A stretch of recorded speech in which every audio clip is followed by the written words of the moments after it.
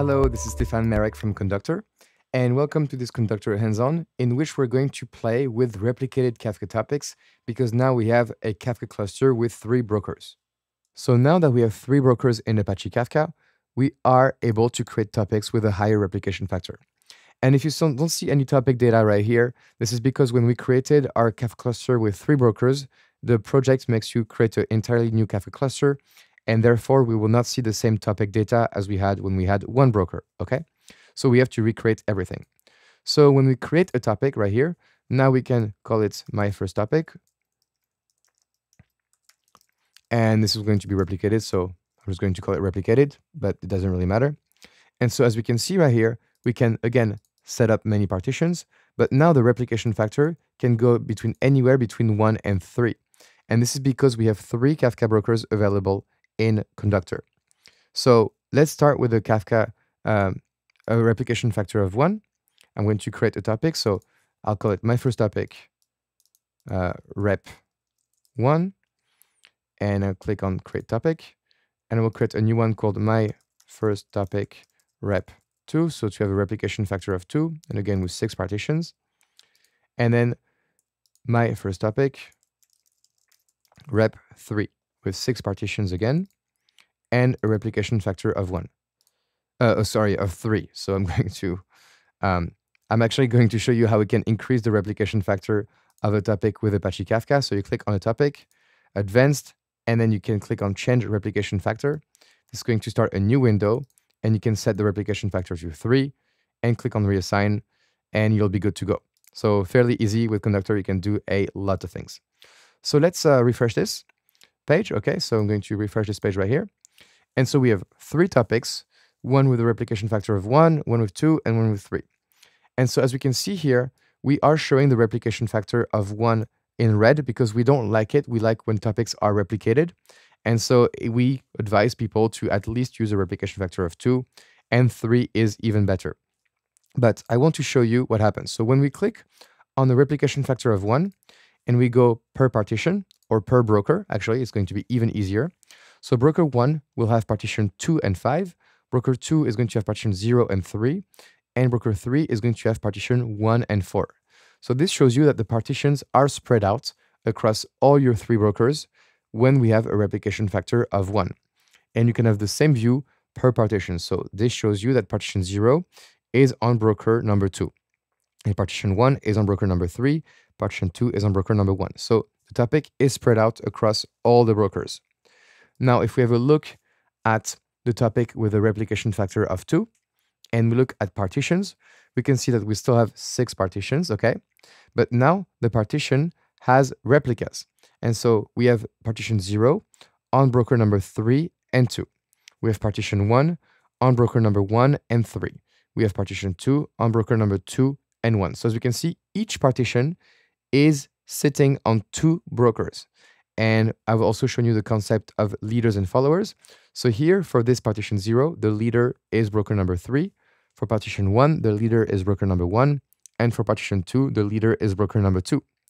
And so if I go to a per broker view now, we can see that the broker 1 is the leader for partition 1 and 4, but has data for partition one, two, three, and 4, and so on.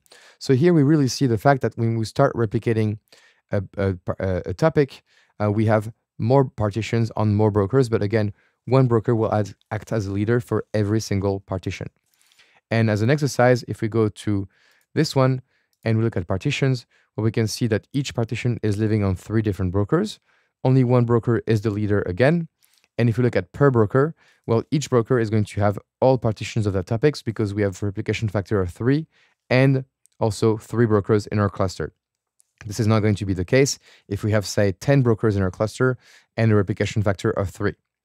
Okay, great. So now let's have a look at what we can do with the fact that we have a replication factor. So if we take this topic right here, replication factor of 3, for example, we can start a consumer on the right-hand side, and I'm going to start it right now. And we can start a producer on the left-hand side, and we can start sending data to uh, this topic with replication factor of 3, and I'm going to yet again send the value hello world. And I will have this on the right-hand side, and click on send. So the data is now being sent and we're starting to read it. So I'm going to um, stop it, have a tabular view and start it again. So we can really see the fact that the data is going into different partitions with different offsets. And so as you can see here, we don't see the broker because the broker doesn't matter. The broker is just receiving and sending data. But now something we can do is that we can shut down a broker and see if all of this still works, okay? And this is going to be the power of Kafka thanks to the replication factor. So from my Kafka window, I'm not going to stop it, but I'm going to open a new window on the right-hand side, and I'm going to do docker compose. I'm going to specify the same file as before, so Kafka a zookeeper single Kafka multiple.yaml, stop, and then I will say Kafka 1, for example. So I'm going to stop my first Kafka broker and press enter. And this is going to stop my Kafka 1 server. And as you can see, the shutdown is completed. So if I do the same command and now do ps to get the processes, as we can see, my Kafka 1 has exited, but my Kafka 2 and my Kafka 3 are still up and running.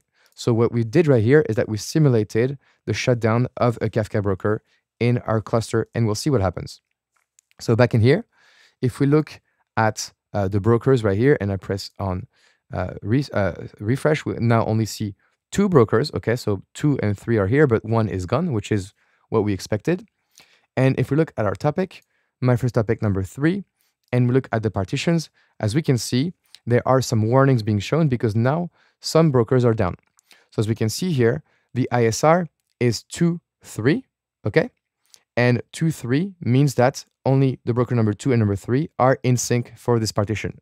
This is because the broker number 1 is down, and so we can show it here in Conduktor. The broker number 1 is down, but uh, the data is only replicated to the other two brokers because, well, it's down.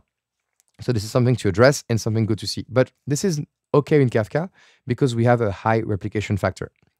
And if we look at the leadership, the leadership for partition number two has changed to broker number three. And this is again because the Kafka broker one is down. And so we set a warning here because we're saying, hey, partition number two is having leader number two as a broker. And this is not the preferred replica. The preferred replica is one. Okay. And so this might be a problem if the broker number one stays um, away for too long, but this is not a problem when consuming from a topic. So very important to see because we show and display this information in Conduktor.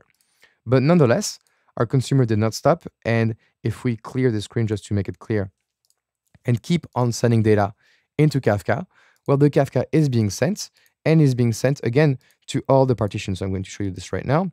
So 0, 1, well, 2 is not showing, but 3, 4, and 5 number of partitions are still receiving data, even though we have a broker down. And this is thanks to the replication factor in Kafka. If we were to look at the Kafka topic, my first topic, rep one, this one would have some offline partitions. Because the Kafka broker is done, but we have not replicated that topic, and so therefore it's going to be missing, and we cannot right now consume from partition 2 and 5, and so we call these partitions to be offline. So if I refresh this, as we can see, we have 11 URP, which is under replicated partition, and we have two offline partitions without a leader, so two without a leader, and this is a problem. So this is why we like to have replication factor in Kafka, because when we have replication factor, we can still keep on producing and sending uh, and consuming from a topic, even if a broker is down. So to fix this problem, now we're going to do the same command, but instead of stop, we're going to start Kafka 1. And by starting Kafka 1, what's going to happen is that the broker is going to be restarting, okay? And the data is going to be uh, up and running. And the cool thing is that when the broker restarts in Apache Kafka, all the data that was missing from when it was produced when the Kafka broker was down is going to be replicated. So now if I refresh this page, we have URP, so under replicated partitions are zero, and everything is up and running. We have no more warnings. And if I refresh this page, um, when a leader election is going to happen, then this warning should go away. As you can see right now, the replicas and the in-sync replicas contain all three brokers, one, two, and three. So this is great.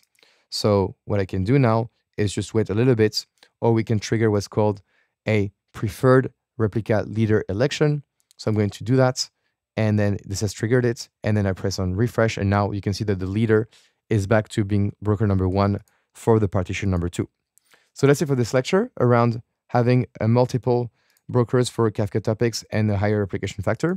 It really shows you here the power of Kafka, and this is really the aha moment.